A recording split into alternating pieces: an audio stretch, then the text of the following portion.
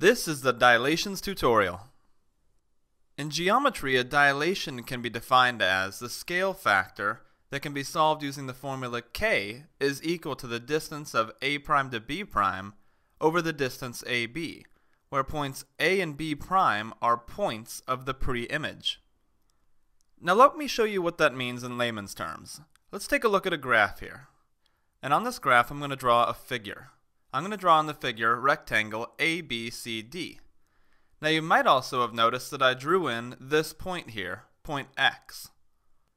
For the purpose of discussing the dilation in geometry, we're going to use point X as the center of dilation, and I'll show you what that means.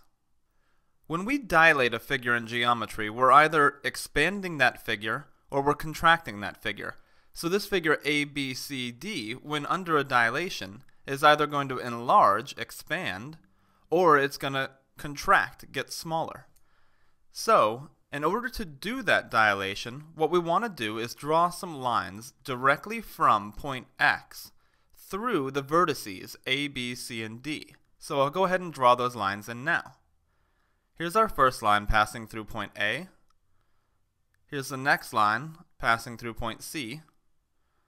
A third line going through point B, and our last line going through point D. Now I'm first going to show you an enlargement of that rectangle ABCD, and then we can talk about a reduction of the rectangle ABCD. Here's what an enlargement would look like. It's called an enlargement because, as you can see obviously, we've enlarged the rectangle. And to create that enlargement, I've just drawn a rectangle in connecting at these vertices here. So the vertices of this new rectangle are going to be right at the lines that we drew from our center of dilation, x. So you can see A and B that I've pointed at here. Here's C, where that red rectangle now crosses across that line that went through point C. And you'll notice D here. Here's D on our red rectangle, hitting that line that passes right through vertice D on our original image. So our pre-image, rectangle ABCD prime, has just been created along those lines of dilation that have originated at the center of dilation. They pass through the vertices of the original figure, so these points A, B, C, and D of the original figure, and we use them to draw in the confines of our enlarged rectangle. Now, if we wanted to draw a reduction, we would just draw a rectangle between the center of dilation x and the original image, rectangle ABCD. And the way that we would draw that reduction is to just draw a rectangle connected to those lines. To draw that reduction, you'll pick a point to start at. So I'm going to start at point A. So I go to the line, this line here that's coming from our center of dilation, so I'll just call that line A. I'll start at line A anywhere along it between the center of dilation and the original image, rectangle ABCD. So I'm going to choose to start right here. I'm going to start at that point, and you'll notice that for our rectangle ABCD, you can draw a line straight down from A to C here. So I'm going to draw a line straight down from line A to line C.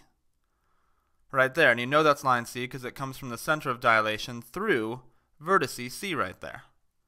Now on our rectangle, you can also go from point A directly across to point B on the top here. So I can draw a line from line A to line B. So here's our line straight across from A to line B. You know that's line B because it passes through point B on our original image. Now I can go from point B down to point D on our rectangle, which means I can go from line B down to line D on our rectangle. And then we can go from point D across the bottom of the original rectangle to point C.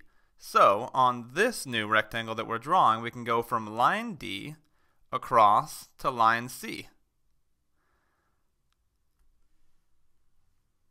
And when you do that, you can see we have a new rectangle that's in the confines of those lines that we've drawn from the center of dilation.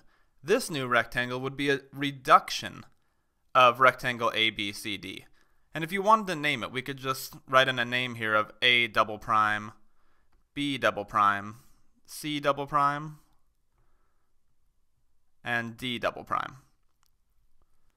Now let's say you wanted to find the scale factor of one of these. You would just use this formula from above. K is that scale factor. So let's find the scale factor of the enlargement. K is equal to the distance of A prime to B prime, so we'll just count along these points. That's this distance right here. So we have 1, 2, 3, 4, 5, 6, 7, 8. That distance is 8 over the distance of A to B. So A to B of the original image. So that is 1, 2, 3, 4, 5. That's this length right here. And we know that's 5 units. So we have a scale factor of our enlargement here of 8 over 5. And that'll hold true for every side of the enlarged rectangle. That's rectangle ABCD prime. Alright, now let's take a look at how to solve a dilation when only given coordinate points and the scale factor of that dilation. That's the value of k. In this problem, I'd like you to draw the image comprised of the following vertices. A, B, and C under a dilation of negative 1 half centered at the origin. So, let's begin by drawing in a graph. Now remember, for the previous problem, we were centered at our dilation of x down in the bottom left-hand corner in quadrant 3.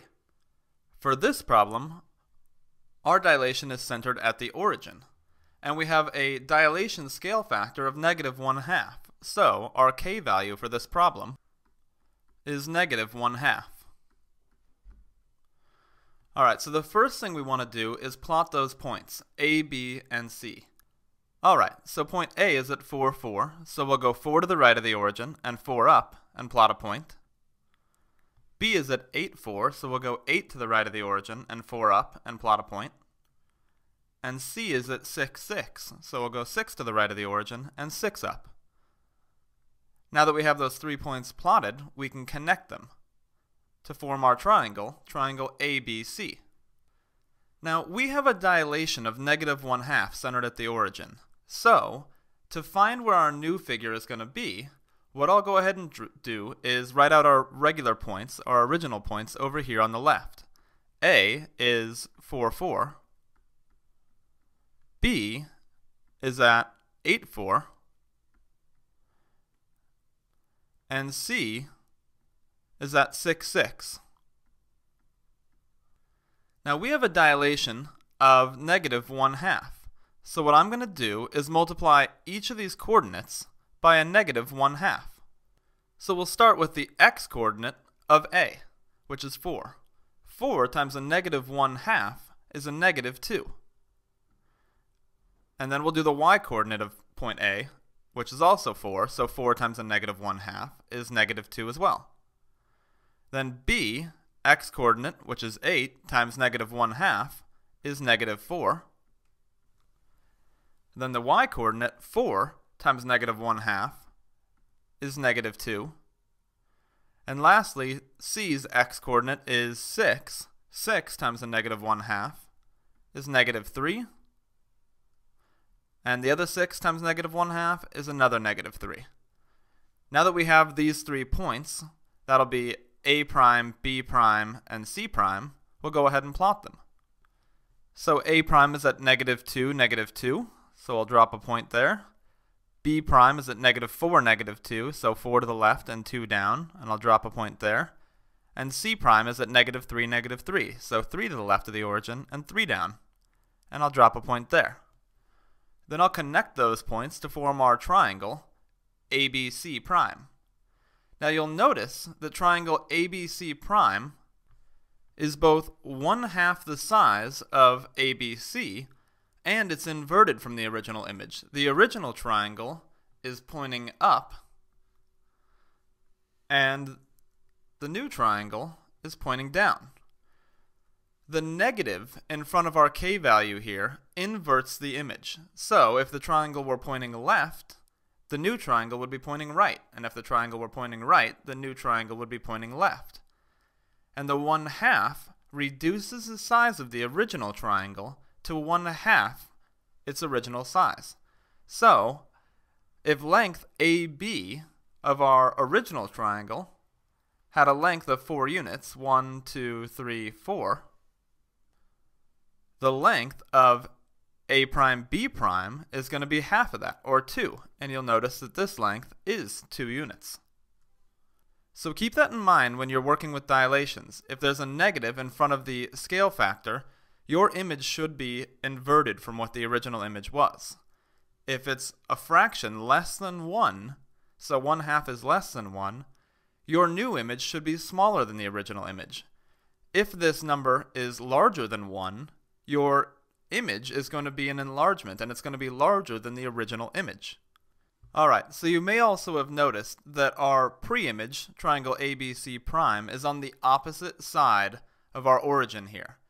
And a reduction should be between the center of dilation, which in this case is the origin, and the original figure, unless that dilation is a negative.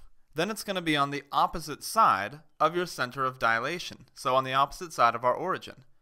So remember, in order to find where your preimage is going to be, you can draw a line from your center of dilation connecting the points of your original image.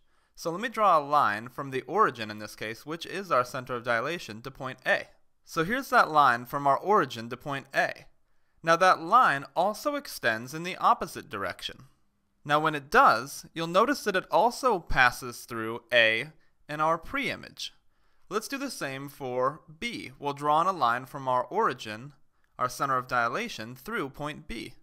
Now we'll take that same line and extend it in the opposite direction from the origin. And when we do that, you'll notice that it passes through B prime. Lastly, let's connect our center of dilation line to point C. Now because of where our original triangle is, that original image, it's difficult to see, but that line is laid right there, very similar to where A is. And we'll take that same line and extend it through the opposite direction.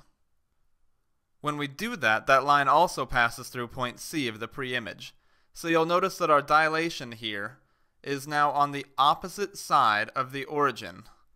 It went from this side in quadrant 1 over to this side in quadrant 3. And that just means because of that negative in front of our scale factor, it's going to be on the other side of our center of dilation. So that's how you do dilations in geometry.